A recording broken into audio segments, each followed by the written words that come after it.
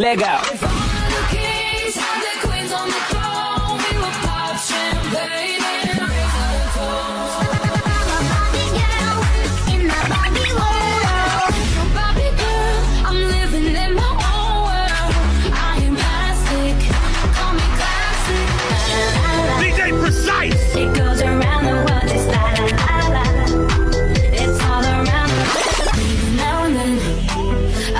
about me now and who I could have been. And then I picture all the.